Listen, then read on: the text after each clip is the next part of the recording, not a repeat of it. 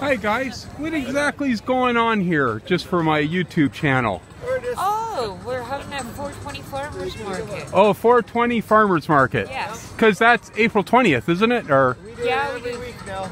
cool. Because we're all protesting our rights for everybody to be able to have, have this at any time they want. Awesome.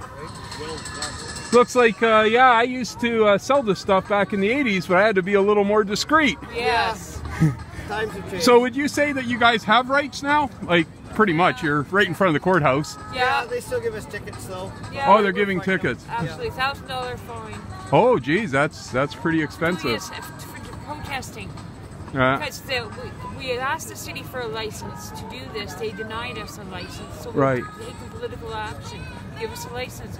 The public have no issue with it. It's so normalized now here in Canada. yeah, Vancouver. Well, at least Vancouver. This is a pretty liberal city. It's been 92 years of bullshit. Right. It's time we get on the wagon, government. Let's do this. Oh, okay. And uh, just just for people who don't know, some of my people are older. Yes. Yeah. So what exactly? What? did- Oh, Kush, Kush, yeah. Rockstar. I recommend the jams and I recommend the honey in your tea or coffee. And So rec- is that is that honey from the marijuana plant? yes. Oh, okay. Infused. Look at the beautiful Never even knew such a thing existed. And how much is that? It's 25 $25. bucks. That's pretty cheap, I think. I think when I was a drug dealer, I was selling it for ten to fifteen dollars back in the '80s. Yeah. So it actually hasn't gone up in price. no, Nope. No, we're still the black market. I'd say you're ten dollars a gram, all the way down to five dollars a gram.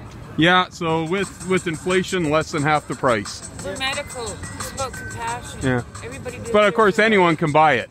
As long Yes. as you're 19. Yeah, But it's yeah. the fun part of the farmers market is educating. You get to Right. a lot of people, especially the middle aged and up.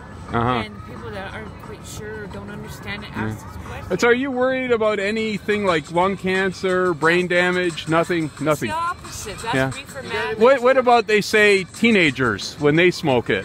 Uh, Fine. I'd rather see the teenagers doing it than doing- doing cocaine, meth, or alcohol. yeah, yeah, yeah. It's actually improving their mind. It's opening their mind to uh, new levels. Why not?